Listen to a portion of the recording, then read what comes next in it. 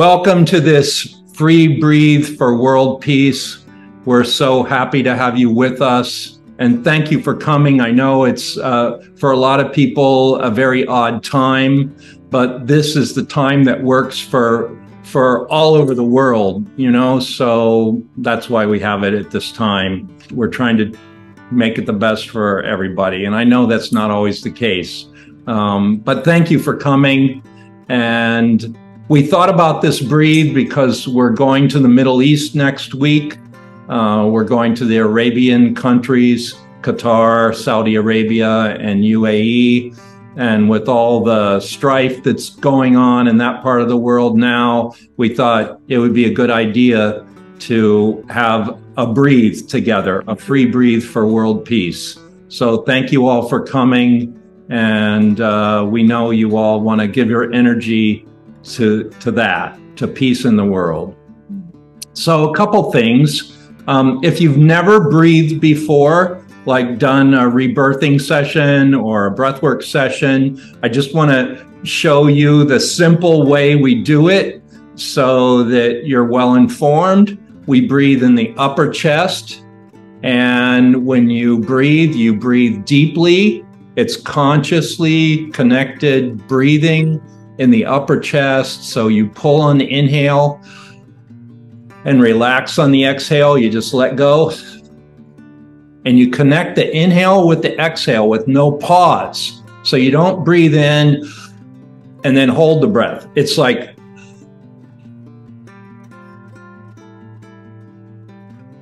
you want to keep it circular and smooth and as deeply as you can breathe with without feeling uncomfortable.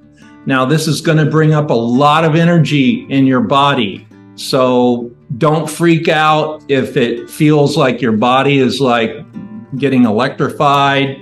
Don't freak out if your hands get a little tight. That can be normal. It usually happens with people who are controllers, who are really controllers and they're afraid to let go. So that just, you know, breathe through that breathe through those feelings and just relax. Keep breathing, keep relaxing, and usually that tightness will go out after a while. And if you have to slow down your breath, you may have to do that too. So that's the breathing in a nutshell. I think for new people who've never done it, you should do in and out through the nose. It's more gentle. And the other the rest of you can breathe how you want, but we recommend through the mouth. Yeah, okay. So, yeah, that's the breathing part. Now, the peace part, that's that's also our responsibility. You know, the name of this talk is Breathe for World Peace. And I like to think about what Krishnamurti, this wonderful teacher from the 20th century, said about the world. He said, You are the world so, what's in you is what's out there in the world. So, if you're seeing conflict in the world and you, you observe that, you have to also observe the conflict within yourself. And that's where you can make the change. It's not in external changes. It's not in saying, oh, this group was wrong and this group was right. No, anytime there's strife, or war or conflict and killing. There are things off on both sides of the fence, right? So what we're trying to do is come to the inner harmony in ourself. We're trying to come to the inner peace within ourself and undo any of those conflicts, any of those judgments that we're projecting, any of those, well, the Course in Miracles will call them grievances you know, grievances towards others, because those are conflicts.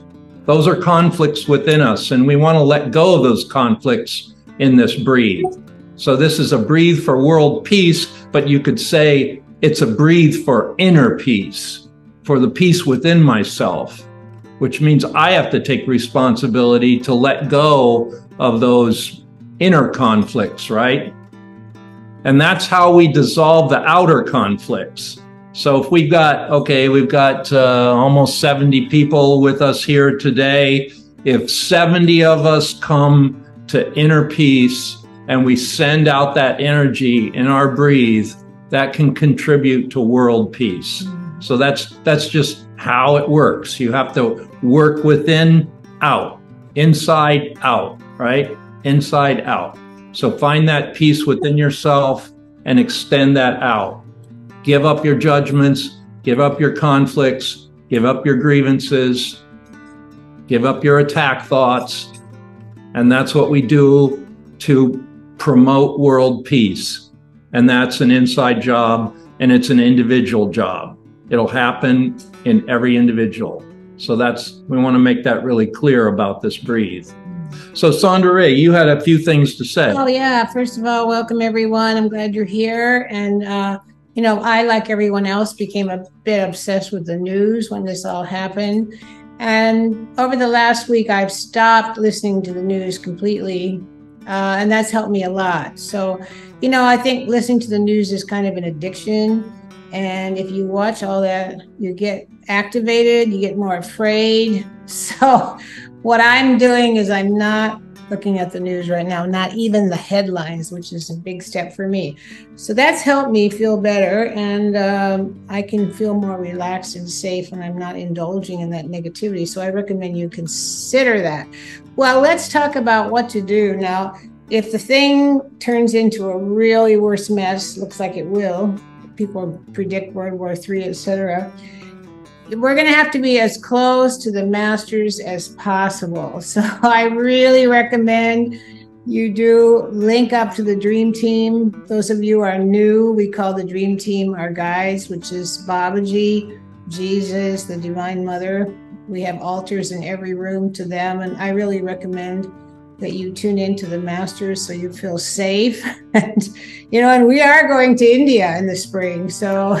Yeah i want to also say this is not to the exclusion of the judaic masters and the islamic masters. Right. there were many great enlightened souls from those lineages and those those may be your lineages. And i'm sure you can find guidance within those enlightened beings within your lineage yeah. You know, so we're not we're not saying the dream team is excluding that. Right. In Thank fact, um, you know, when I studied for 17 years with Tara Singh, he had a prayer room, and within the prayer room, he had about oh a couple dozen holy beings, holy masters from all lineages around the world.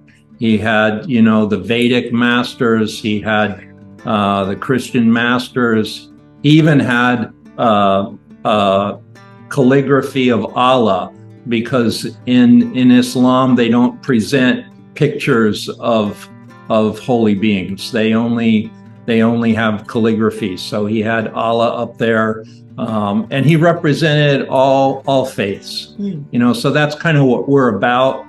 There's there's holiness in every path, and we have to find that sweet path down the center mm. where we're not excluding others and we're not saying ours is the only path. There are many paths to God, and we just have chosen breath work and these these holy masters, but you could have your own, and you could also have them on your altar as solace and guidance, and we're not exclusive in any way in that bit.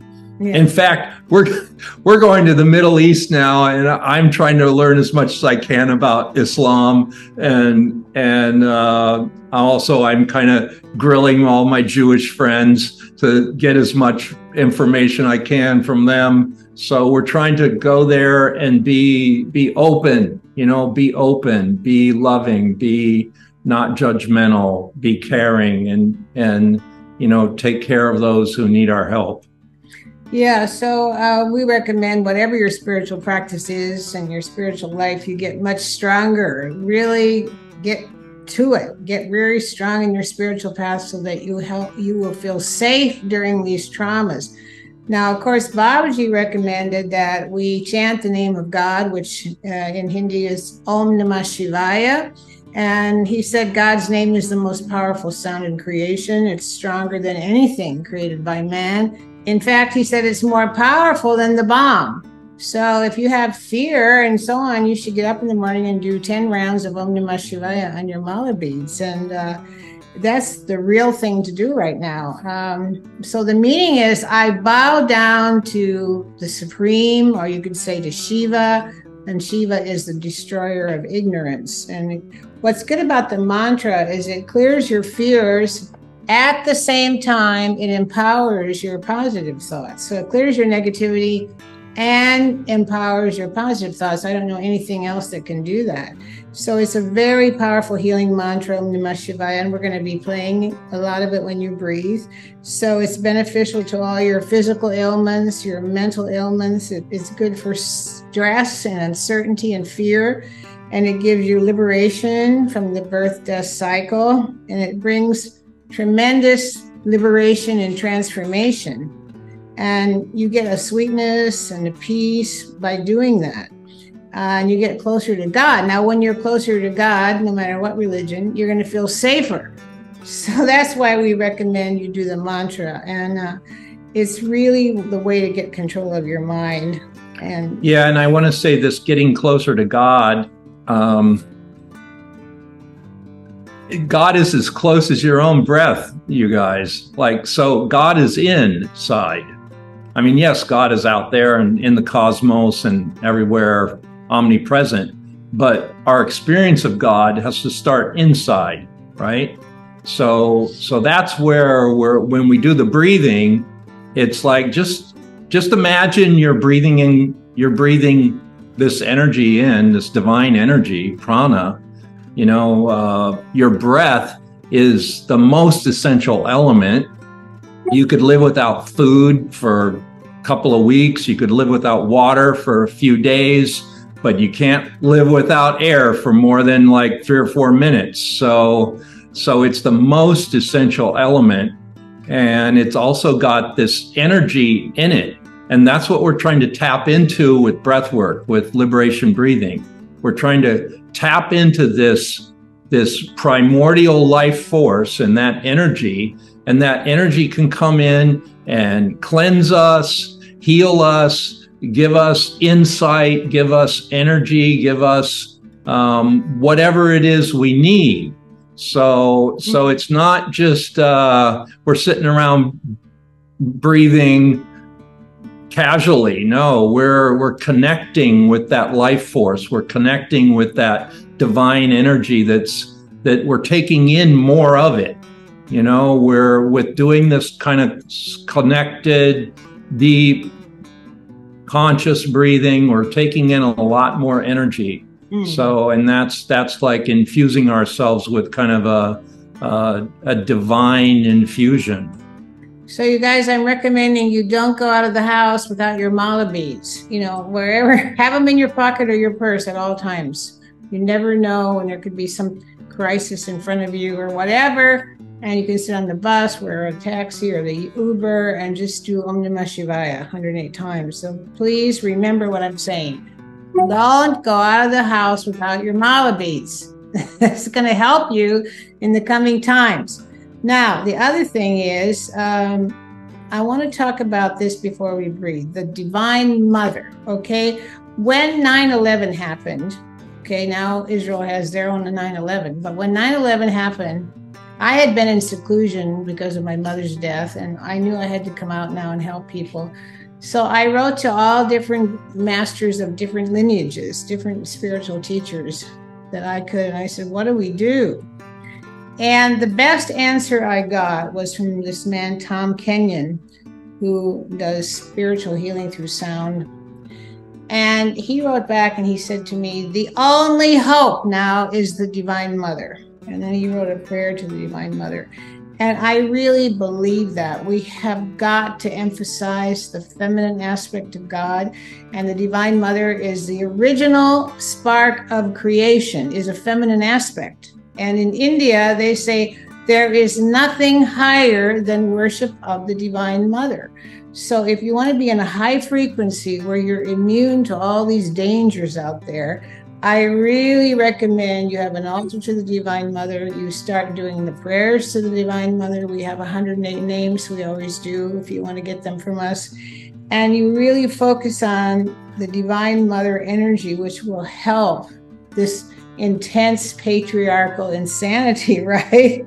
So, uh, also, there was a guru that said that the final stage of perfection in a soul is surrender to the Divine Mother. Okay. Sri Aurobindo. Yeah, Sri Aurobindo. Right.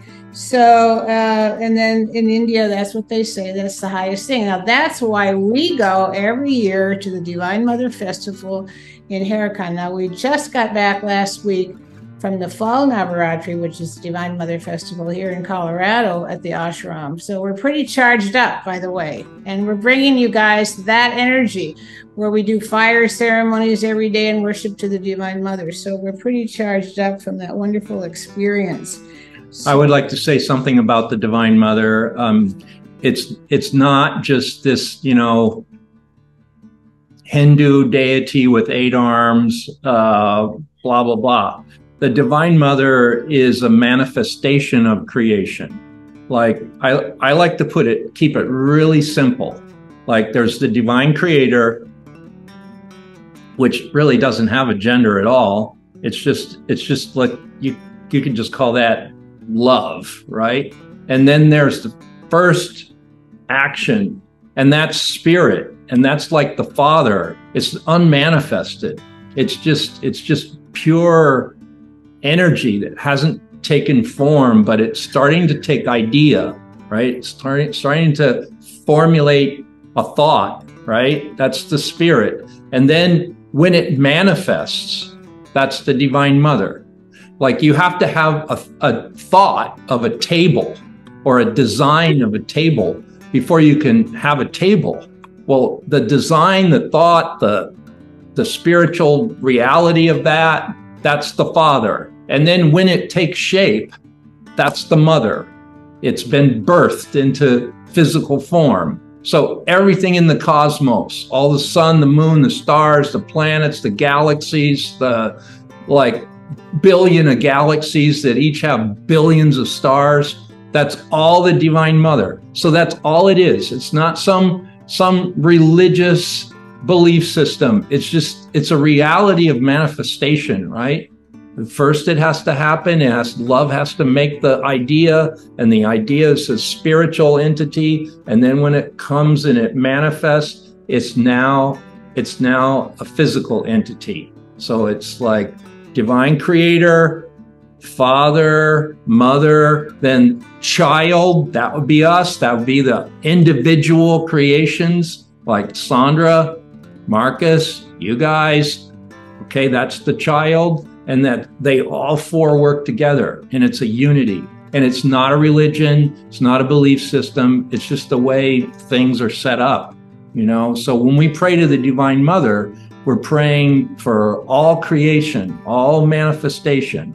And this this doesn't have divisions. It doesn't have like Americans and Chinese and Jewish people and Arab people. It doesn't have those divisions. It's just all one creation. And that's that's where we have to find our peace. So, yeah, if I were you, I recommend you start surrendering to the Divine Mother, and that would really help yourself and that would help the world. And this is why we take people to India every spring because we go to the Divine Mother Festival, which is nine straight days of worship to the Divine Mother. And Babaji said it's so powerful with those particular ancient ceremonies, those particular yogis and saints, and those particular processes that it, you know one day is like 12 years of progress. That's how powerful it is. So you can make 12 years of spiritual progress in one day if you go there. So it's really worth it and we hope you'll come with us. And i think now we're going to have to link up to the divine mother. If we want to be saved from all this stuff going on okay so when you lie down i am going to i wrote a prayer this morning to the divine mother i'll read to you when we start breathing and then I'm going to breathe with you today, and we're going to put on uh, Goma, Babaji's uh, musicians from England. They've given us special privilege to play this for you. And this particular one has a lot of Om Namah Shivaya in it. That's why I'm choosing that one. Yeah. Okay. So I think now is good time. You can all get your place and get light lying down Your your pillow doesn't want to be too high. You want kind of your spine to be as straight as possible. You can use a pillow, but not a you don't want your neck cocked way up. You want it kind of straight. Okay. So, and get comfortable, hands to your side. Uh, you might need a blanket because sometimes you can get cold. So, you might want to have a blanket nearby. And then uh, we're going to start soon. And Sondra's going to read this prayer. And then uh, we're going to put on the mantras. Now, I want to say a little bit about mantra breathing. So, liberation breathing is what we're calling rebirthing now in our in our network, and it's it's strictly the original rebirthing, processing people on their five biggies and doing this this connected breathing through the mouth, just like it was always when Leonard Orr and Sondra Ray started rebirthing in the world. It's just like that. But now we've introduced mantra breathing where we're breathing for a whole hour to these very powerful mantras. They're, and mantras are like divine sounds, right? They're divine words, they're divine sounds, they're energy. Just like your breath is a divine energy coming into you, these sounds are a divine energy coming into you, and they help you they help you let go. You don't even have to understand what they're saying. Just trust that they're very high thoughts. Praises to God. Praises to, to God. God. They and they're keeping you safe. They're infusing you with energy and they're solving your problems. Just turn your problems over to the breath and to the mantra. And you would be amazed. People are having miraculous shifts in health and family matters and financial matters just by coming to these mantra breathes. Now, we do them every Saturday um, at one o'clock Eastern USA time. So you're welcome to come, but you also have to register for those. It's on the website. So um, I'll be sending out, you know, I put most of you who've signed up for this, I put you on our mailing list. So you'll get be getting mailings about mantra breathing. So we we invite you to come. That's every Saturday, and we hope you'll take advantage of that. But this is our first of of many free breathes for world peace. I think we're going to do one a month for a while. So this is our November breathe. Um, we'll be we'll be in Bali in December, and we'll have another one. But uh, stay tuned for that. Oh, and by the way, you can all come with us on the Bali Quest. You can still make it if you're inclined. Okay. Yeah. We'll have announcements at the end. Okay. So I think that's that's everything getting you ready. So Sondra's going to read this prayer. Yeah, and for you new people, don't worry about anything. The mantra itself will keep you safe. So you don't, and if you feel like too much energy, you slow down and relax. And if you feel pain in your body, it's always a negative thought you're clinging to. All pain is the effort involved in clinging to a negative thought. So if you have any pain, you have to say, okay, the negative thought that's causing my pain is, and you listen for the answer, then you change that thought and the pain will go away. So the great thing about mantra breathing is it makes everybody feel really safe for group sessions. And you know, when we started with the pandemic, I thought, oh my God, well, we have to do group rebirthings and we can't go around like we used to and check on everybody and what are we going to do? And then Babaji gave me the instruction play the mantras and everybody will feel safe. Yeah. okay, later. Okay. All right. So now that you're lying down, I just wrote this prayer this morning to the Divine Mother, and you can all start breathing. Pulling on the inhale, relaxing on the exhale. Inhale love, exhale fear. Inhale life, exhale death. Inhale the good, exhale the negative thoughts. Inhale peace, exhale any anger. If you're angry about anything that keeps you from being in peace. So we in the breathwork community, we must set an example of how to be at peace and have no anger. Okay? Divine Mother, Saturate my entire being with your presence. Love, joy, and peace. Saturate my entire being with your presence, love, joy, and peace. Give me insight into ways you desire to work in and through me for your glory. How can I serve you, Divine Mother, in this time of trial in the world? How can I serve you? Let people experience your presence through the words that I speak and the actions that I take. Let your miraculous power flow through me. I make myself available to you completely. I step out in your power and authority. I am ready to go forth in your power and purpose to help and transform the world around me through your glorious presence. May I always walk in obedience to your will. Okay, I'm going to read it one more time. Breathe a little deeper. Divine Mother, saturate my entire being with your presence your love, your joy, and your peace.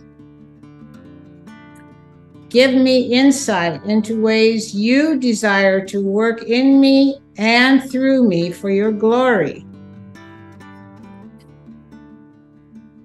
Let people experience your presence through the words that I speak and the actions that I take.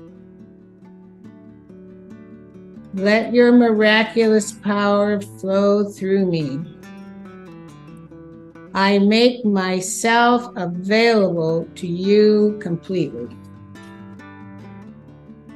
I step out in your power and authority.